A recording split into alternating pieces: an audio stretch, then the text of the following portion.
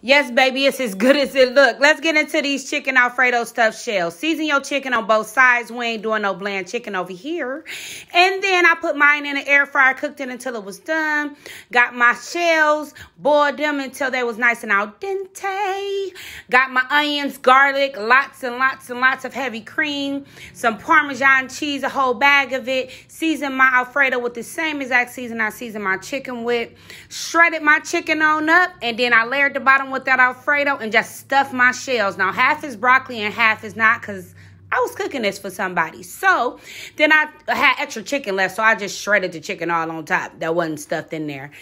Layered it with that good old creamy, thick Alfredo sauce, some more of that Parmesan cheese, and then I just baked that baby until it was bubbly, bubbly. Look at it, y'all. Look at it. Get into it. Get into it. Yes. And it was Slap.